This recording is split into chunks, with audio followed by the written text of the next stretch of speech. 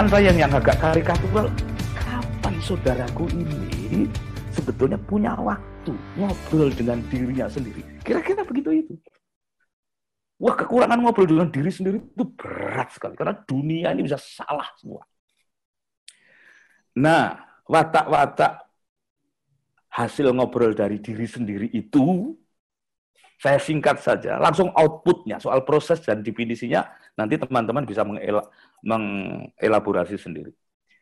Biasanya buahnya begini, hasil ngobrol dengan diri sendiri itu kalau sudah mulai berjalan.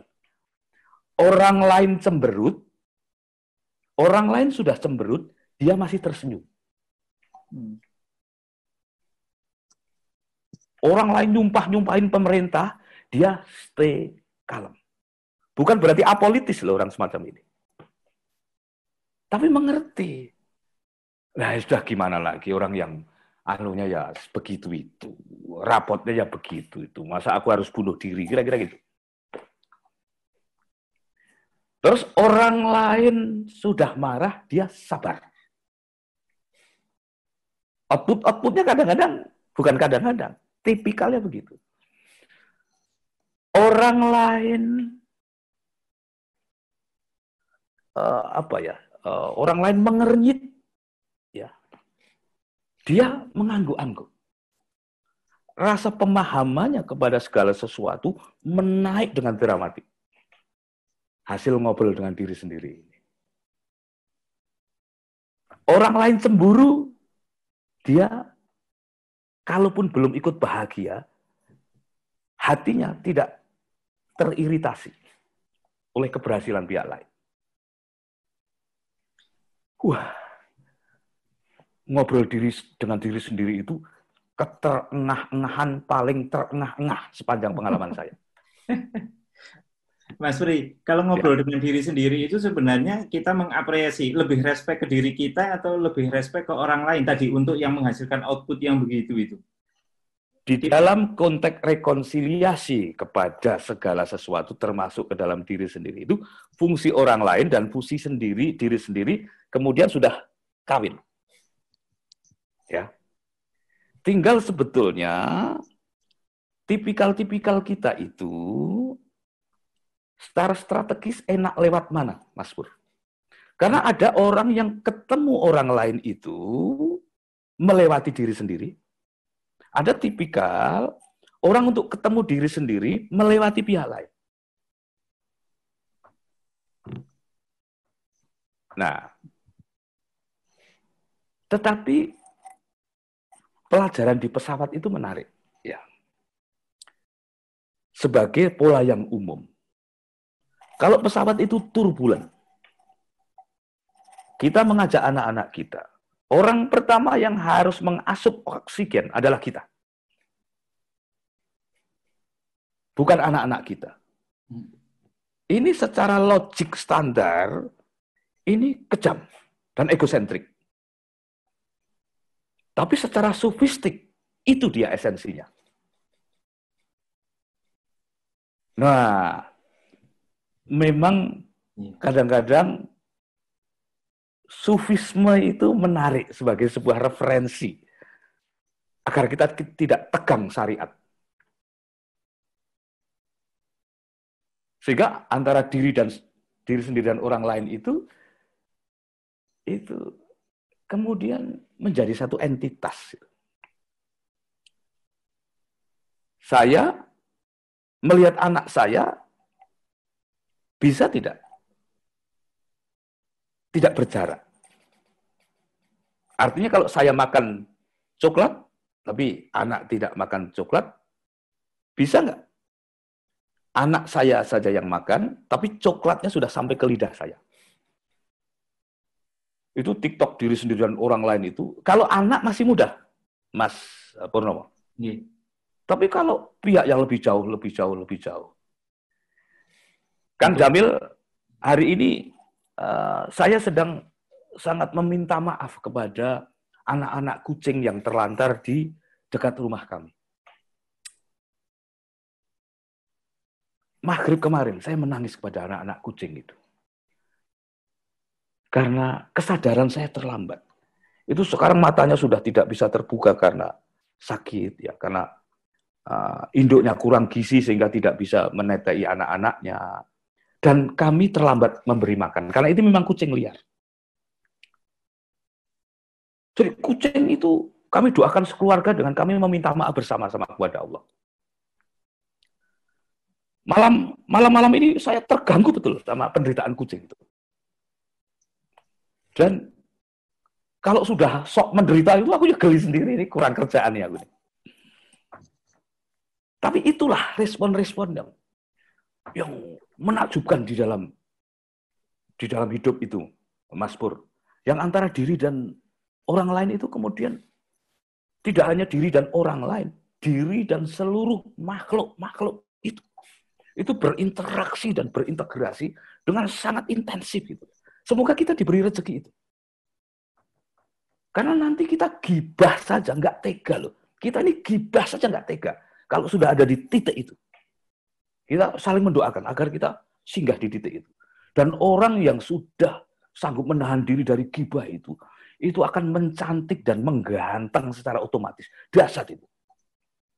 Itu naik panggung nggak usah membuat atraksi macam-macam. Itu resonansi karismanya, itu menjangkau sudut-sudut terjauh di ruangan itu. Begitu, saudaraku. Gitu. Aduh, kelihatannya ini para trainer pembicara mulai perlu berlatih berbicara dengan dirinya, menjiharai dirinya supaya kata-kata yang keluar tidak hanya kata-kata yang dari mulut tapi keluar dari lubuk hati yang paling dalam. Ya, uh, gara-gara COVID, Mas, di rumah yang tadinya saya tidak sadar bahwa ada bunga yang layu, sekarang sadar ada bunga yang layu ya.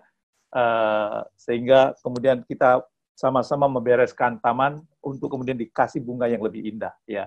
Uh, kesadaran terhadap kanan kiri itu jadi lebih lebih peka gitu ya, lebih peka gitu. Itu kalau kalau secara ilmiah hubungannya apa ya? Kita menyendiri, kita pit stop, lockdown gitu, kesadarannya kok malah muncul, kok malah timbul gitu.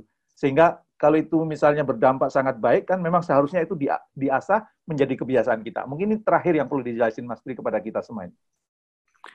Kalau secara sains kan penjelasannya sudah banyak ya Mas uh.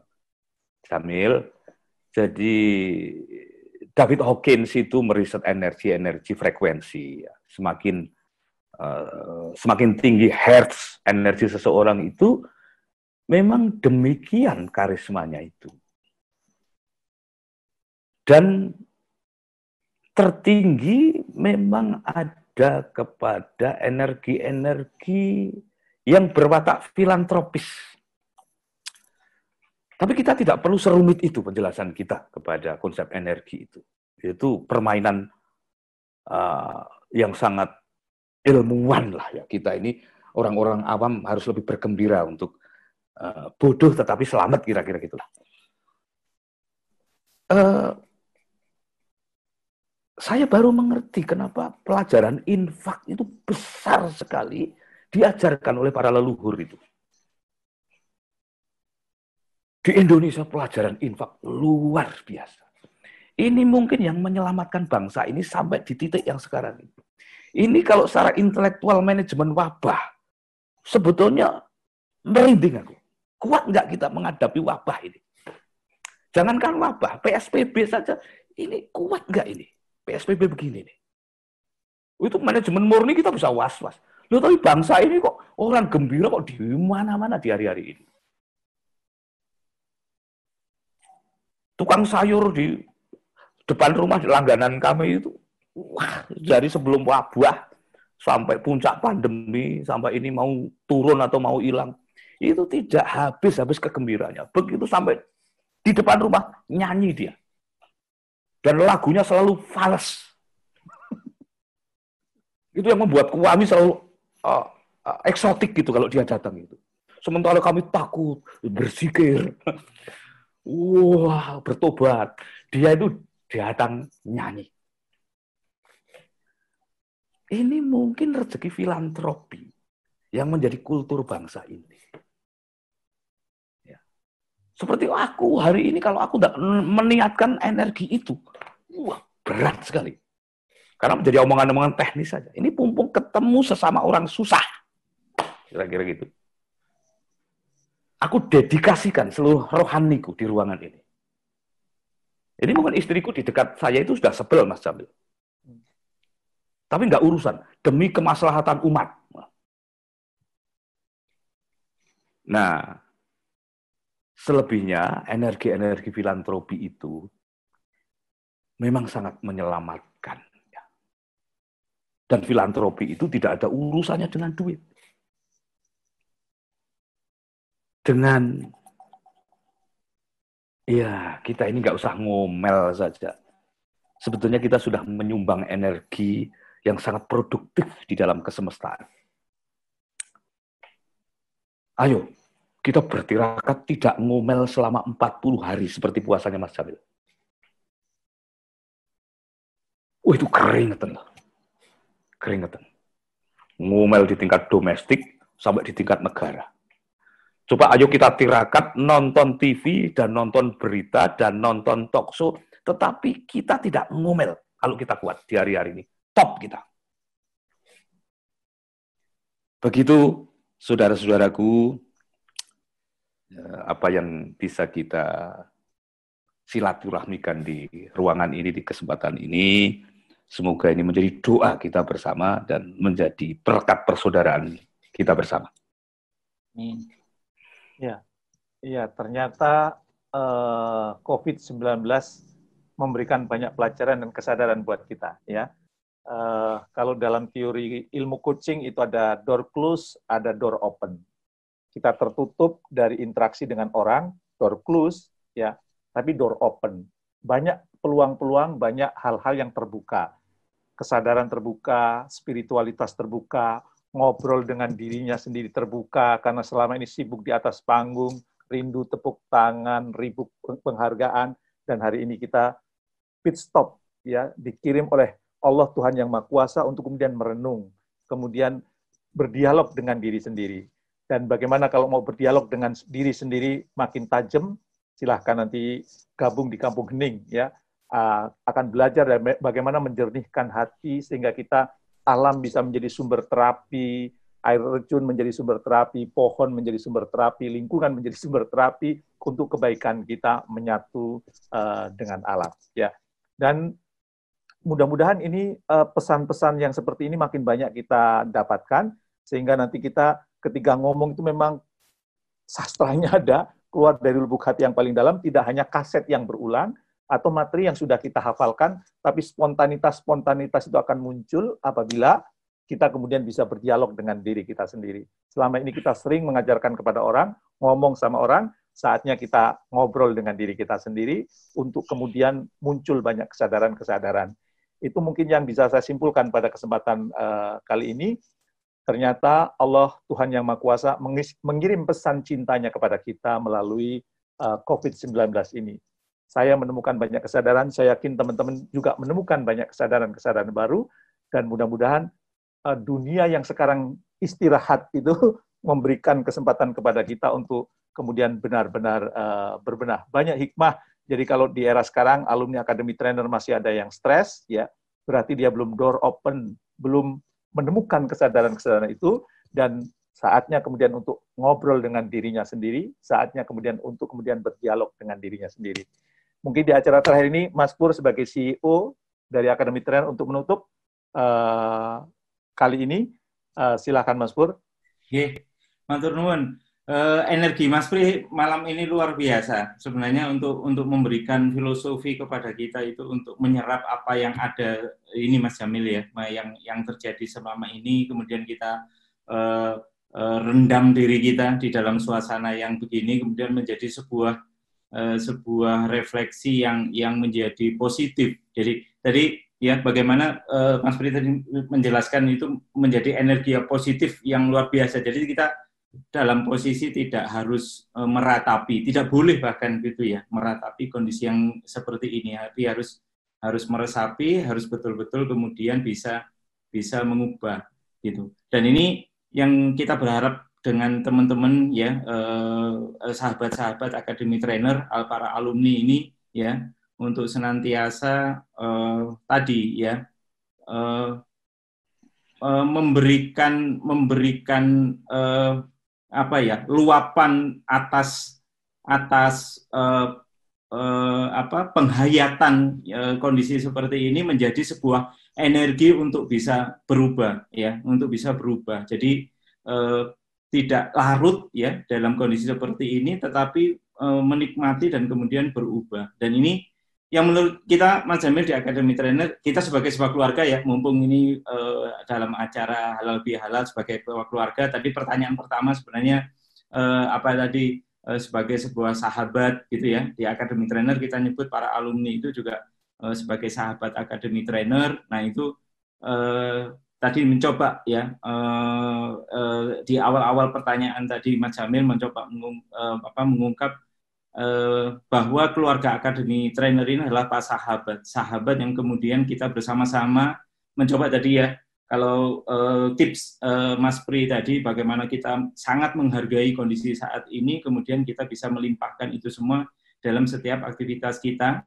Dan sebagai sebuah keluarga tentu kita ingin ya akademi trainer itu memiliki kerjasama yang baik gitu ya di antara uh, para alumni dan uh, istilahnya akademi trainer tidak berhenti pada proses training saja, tapi kita ingin terus bersama-sama Eh, membangun sebagai sebuah keluarga yang terus bersama-sama uh, saling memberikan uh, energi gitu, Mas Jamil. Gitu. Mas Run, Mas Pur, uh, ya. apa malam yang luar biasa memberikan tambahan kesadaran bahwa untuk menyadarkan orang tidak perlu berteriak-teriak apa kabar anda hari ini? Ya. atau kemudian dengan musik yang hingar-bingar dengan pernyataan-pernyataan yang keluar dari lubuk hati yang paling dalam. Hari ini saya bolak-balik tadi merinding mendengar pencerahan dari uh, Mas Tri. Dan kita kayaknya perlu terus belajar bahwa kata-kata itu tidak selalu keluar dari mulut ya, keluar dari ekspresi, keluar dari hati, ya keluar dari uh, batin kita. Jadi ada beberapa pesan yang disampaikan Mas Tri kepada kita, hati-hati para trainer literasinya jangan males ya. Udah hasbi itu di belakang buku-buku banyak itu dibaca nggak itu ya? Jangan sampai seorang trainer tidak punya perpustakaan pribadi. Ya, uh, setelah kemudian literasi-literasi ilmiah itu, menurut saya juga kita perlu punya literasi-literasi batin yang kemudian kita alami.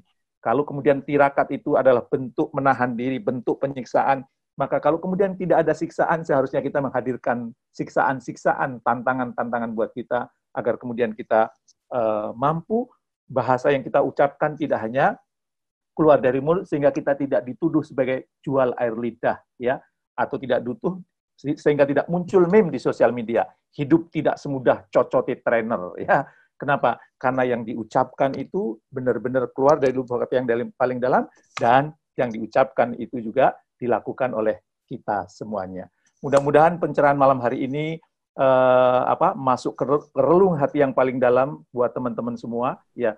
Dan baru kali ini ini ada apa webinar pesertanya termangu diam gitu ya menyaksikan bahasa-bahasa sastra dari uh, Mas Tri, tapi dilihat pertanyaannya di lombar chat banyak banget gitu ya. Mudah-mudahan selesai ini, yuk coba berhenti sejenak ngobrol dengan diri sendiri ya. Jangan menyakiti diri kita karena kita sering ngobrol dengan orang lain, tapi kita jarang ngobrol dengan diri kita sendiri. Hadirkan ego-ego state di dalam diri kita agar kita saling bicara ya menguatkan yang hebat, melemahkan yang kemudian tidak sepatutnya ada dalam diri kita. Ya, mudah-mudahan uh, Mas Pur terima kasih sudah memberikan kesempatan pada kesempatan ini dan kalau Anda terus mau kemudian bicara bicara belajar sastra, kelihatannya kita perlu geruduk ke Semarang ke Mas Pri ini ya. Boleh Mas ya? geruduk ke sana nanti kalau sudah Covid berakhir. Dan mungkin sebelum geruduk ke sana nanti insya Allah bulan Agustus Mas Pri, Bu Sofi punya hajat untuk kemudian membuka klinik uh, kampung hening di daerah Sukabumi. Uh, untuk kemudian kita bicaranya mulai dari lubuk hati yang paling dalam. Ya tidak hanya dari mulut saja tapi benar-benar keluar dari lubuk hati yang paling dalam. Dan benar-benar kita ini sebagaimana uh, angle apa namanya uh, akademi trainer ingin mengubah dunia dengan bicara bicara yang mengubah dunia itu bukan bicara dari mulut tapi keluar dari lubuk hati yang paling dalam ya Uh, ingat, satu peluru hanya bisa menembus satu kepala, tapi satu kata bisa menembus jutaan kepala. Bila kata itu keluar dari sukma yang terdalam. Terima kasih Mas Pri malam hari ini. Kita berikan energi kepada Mas Pri, semuanya tangannya diangkat dan kemudian kita berikan wus kepada Mas Pri. Ya, mungkin di unmute biar suaranya kedengaran gitu ya. Bismillahirrahmanirrahim. Kita berikan energi satu, dua, tiga, wus. Ya. Wus. Terima kasih Mas Ringi. Uh, kita alhamdulillah punya warahmatullah Setelah ini katanya kita perlu berguru uh, ke Mas Alhamdulillah, terima kasih Pak Terima kasih Pak Jamin, terima kasih Mas Pri, terima kasih Bu Nyantri, Terima kasih, mohon maaf lahir batin dan saya kembalikan kepada Wisnu. Atau kita tutup langsung ya.